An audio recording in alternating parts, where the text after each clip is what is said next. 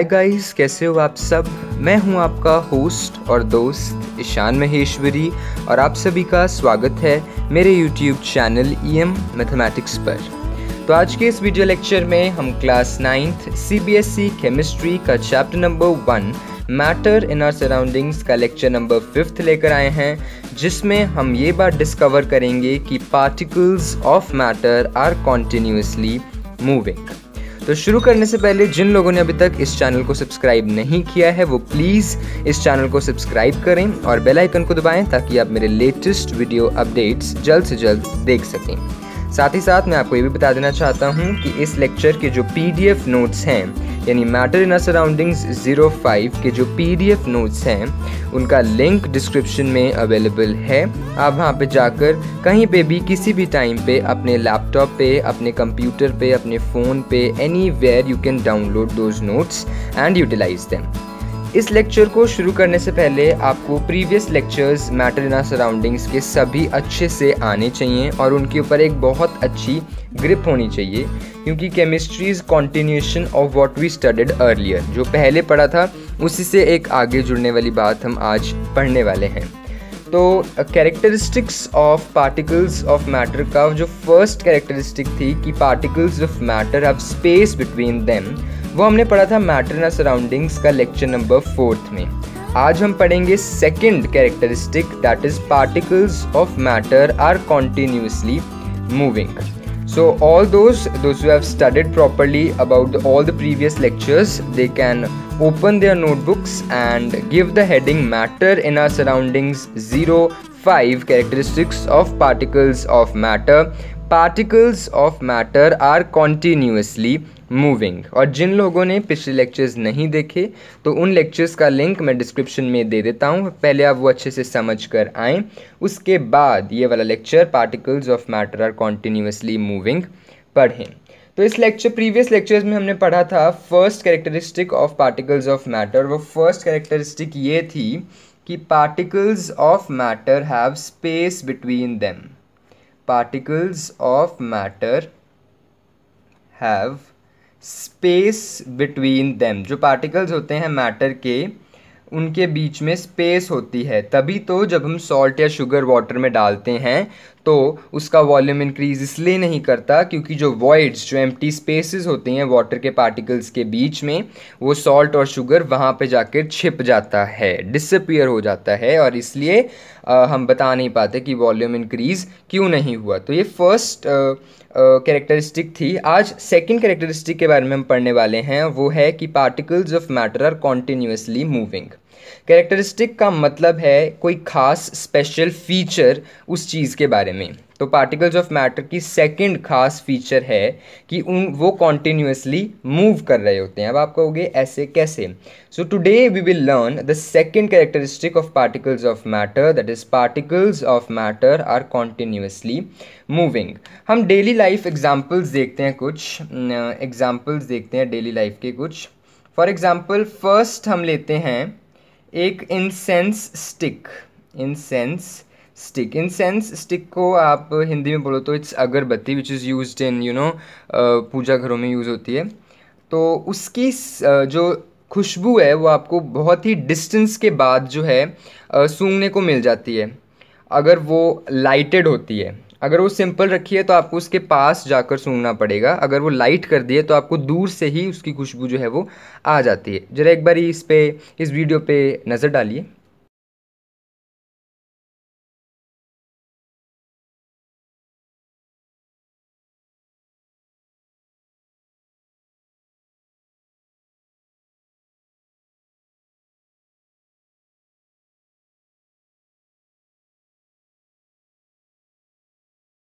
हाँ तो आपने देखा ना इंसेंस स्टिक के जो पार्टिकल्स हैं, जब हमने उसे लाइट किया, कैसे एकदम मूव कॉन्टिन्यूसली मूव कर रहे हैं, वो धुआँ सा आपको दिख रहा होगा they are continuously moving let's again see a second example if you add if you add red coloured और blue coloured ink in water just a drop just a drop. एक बारी ज़रा इसकी भी वीडियो आप देख लीजिए।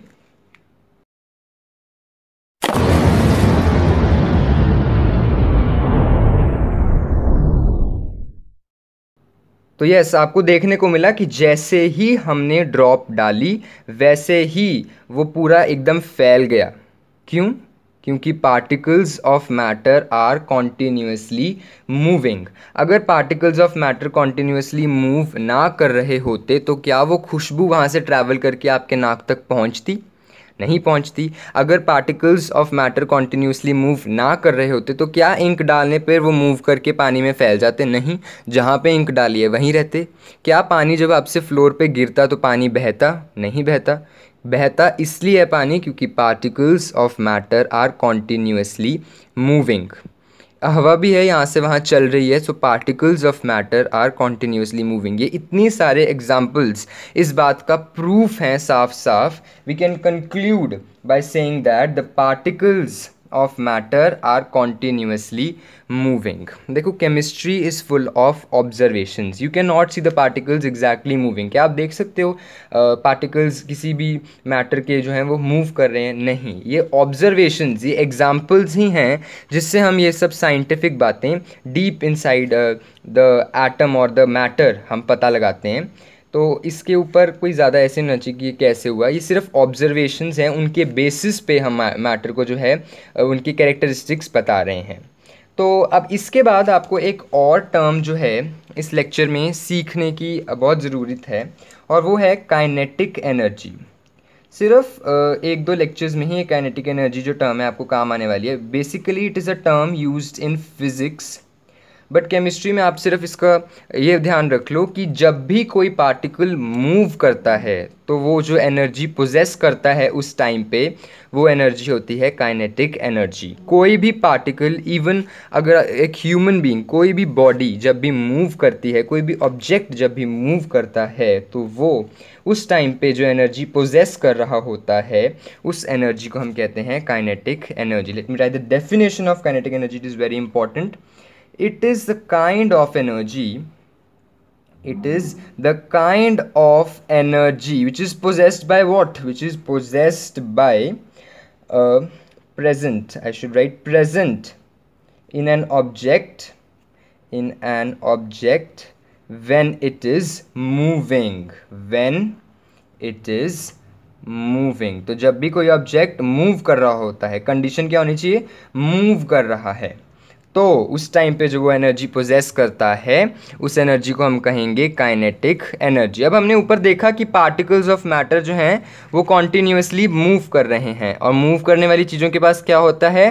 काइनेटिक एनर्जी तो इसका मतलब तो ये भी है कि पार्टिकल्स ऑफ़ मैटर के पास भी काइनेटिक एनर्जी है। सो so, हम यहाँ पे ये लिख सकते हैं कि particles of matter possess kinetic energy particles of matter किसी भी मैटर के पार्टिकल्स जो हैं, वो पोजेस करते हैं काइनेटिक एनर्जी उनके पास काइनेटिक एनर्जी होती है। They do have they do possess kinetic energy so you can see कि पार्टिकल्स जो हैं कॉन्स्टेंटली मूव कर रहे हैं। ये पार्टिकल्स हैं these are constantly moving that means they are having kinetic energy अब इससे रिलेटेड एक बहुत इंपॉर्टेंट बात जिसके ऊपर सबसे ज़्यादा क्वेश्चंस इस टॉपिक में से पूछे जाते हैं वो आपको याद करनी है। इस चैप्टर में आई uh, मीन mean, इस लेक्चर में और कोई चीज़ याद रहे ना रहे ये जो बात है ये आपको याद रहनी चाहिए और वो ये है I am very sorry for that temperature is directly proportional to kinetic energy which is further directly proportional to movement of particles देखो, क्या होता है, किसी भी पार्टिकल को जब आप हीट कर देते हो, या इन शॉर्ट आप उसका टेम्परेचर बढ़ा देते हो तो वो बहुत ही ज़्यादा तेज़ मूव करने लग जाता है। फॉर एग्ज़ाम्पल आप खुद ही देख रहे हो कि जब भी आप खाने को पका रहे होते हो तो उसकी खुशबू आपको दूर से आ जाती है, पर जो ठंडा खाना होता है, उसकी खुशबू आपको पास जाकर लेनी पड़ती है। वो सिर्फ़ इसलिए होता है क्योंकि हॉट फ़ूड जो होता है, उसका टेम्परेचर ज़्यादा होता है और टेम्परेचर ज़्यादा करने से पार्टिकल्स जो हैं वो तेज़ मूव करने लग जाते हैं। तो सोचो कि पार्टिकल्स पहले धीरे धीरे जो हैं, ऐसे सब कुछ के दो पार्टिकल्स हैं, बहुत धीरे धीरे मूव कर रहे थे। अब जैसे ही मैंने इन्हें हीट किया टेम्परेचर दिया, ये बहुत फास्ट मूव करने लग गए। जैसे ही उन्होंने फास्ट मूव किया तो उनकी काइनेटिक एनर्जी भी बढ़ गई, क्योंकि काइनेटिक एनर्जी वो एनर्जी है जब ऑब्जेक्ट मूव कर रहा होता है। और अगर वो जितनी तेज़ मूव करेगा, उतनी ज़्यादा काइनेटिक एनर्जी उसमें आने वाली है। इसलिए टेम्परेचर बढ़ाओगे तो काइनेटिक एनर्जी बढ़ेगी, साथ ही साथ मूवमेंट ऑफ़ पार्टिकल्स भी बढ़ेंगे। ये आपको ऐसे ऐसे क्वेश्चन जो मैंने पूछा था अभी हॉट कुक्ड फ़ूड जो है उसका रीज़न इन सब देने में बहुत काम आने वाला है। So you need to learn कि temperature is directly proportional to kinetic energy directly proportional आपने मैथ्स में क्लास एट में पढ़ा होगा पिछले साल। इसका मतलब ये होता है कि अगर ए डायरेक्टली प्रोपोर्शनल है बी के ए को बढ़ाओगे तो बी भी बढ़ेगा या ए को घटाओगे तो बी भी घटेगा। सो so, टेम्परेचर को बढ़ाओगे तो काइनेटिक एनर्जी डेफिनेटली बढ़ेगी और मूवमेंट ऑफ़ पार्टिकल्स भी बढ़ेगा। फॉर एग्ज़ाम्पल आप अपने आप को ही देख लो कि when you are heated up आप बहुत ज़्यादा एंग्री हो या फिर यू आर हीटेड अप गर्मी है यू कैन नॉट सिट मतलब चैन से आप बैठ नहीं सकते वहाँ पे। But whereas in A C you you try to sleep आपको आराम से मस्त बैठ के आप यू नो आप वहाँ बैठना चाहोगे। तो इस, सिर्फ़ इसलिए टेम्परेचर का कमाल है, ये ऑब्जर्वेशन है कि टेम्परेचर बढ़ाने से पार्टिकल्स की जो मूवमेंट है बहुत ज़्यादा तेज़ हो जाती है और पार्टिकल्स की मूवमेंट तेज़ हुई, इसका मतलब काइनेटिक एनर्जी भी उसकी तेज़ हुई, क्योंकि काइनेटिक एनर्जी वो एनर्जी है जो ऑब्जेक्ट में तब प्रेजेंट होती है जब वो मूव कर रहा होता है।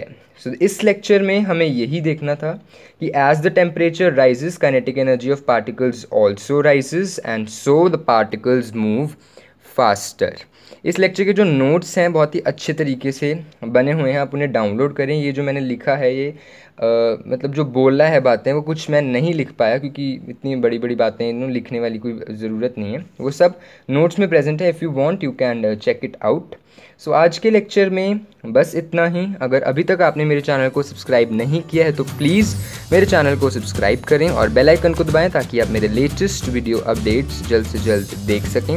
अगर ये वीडियो आपको समझ में आती है लेक्चर ये टॉपिक आपको समझ में आता है तो इसे शेयर करें। अपने फ्रेंड्स फेलोमेट्स और क्लासमेट्स के बीच में लाइक करना ना भूलें। और कोई भी डाउट है आपको इस टॉपिक के रिगार्डिंग तो उसे कमेंट सेक्शन में ज़रूर मेंशन करें।